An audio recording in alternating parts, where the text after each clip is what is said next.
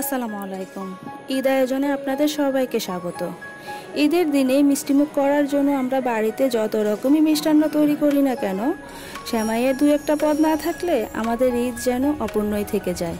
তাই আজকের রেসিপি একটু ভিন্ন স্বাদের মুচমুচে শ্যামাইয়ের জর্দা।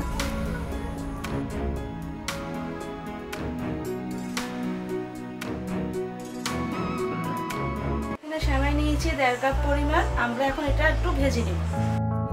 দিয়ে দিচ্ছি এক টেবিল চামচ পরিমাণ খাঁটি ঘি। ঘিটা একটু গরম হয়ে গেলে এখন দিয়ে দিচ্ছি চুলার আঁচ লো মিডিয়ামে রেখেই আমি শ্যামাইগুলো একটু লালচে করে ভেজে নিব।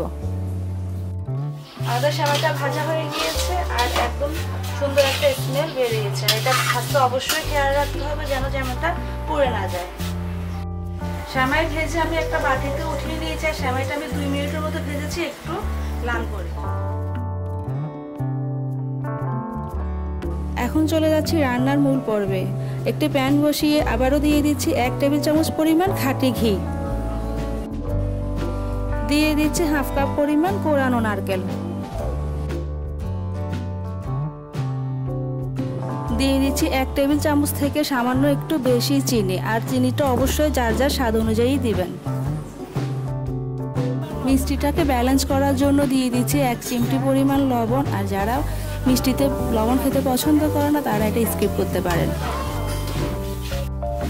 নারকেল চিনি একটু ভেজে নেওয়ার পর এর মধ্যে দিয়ে দিচ্ছি। আট দশটা খেজুর আমি এভাবে কুচি করে নিয়েছি। একটু দেখাই আমরা দর্শককে। এখন দিয়ে দিচ্ছি কিছু কিশমিশ ধুয়ে নিয়েছি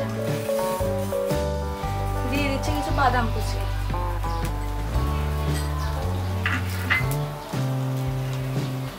এখন এই সবগুলো একটু খুব ভালোভাবে ভেজে নিতে হবে।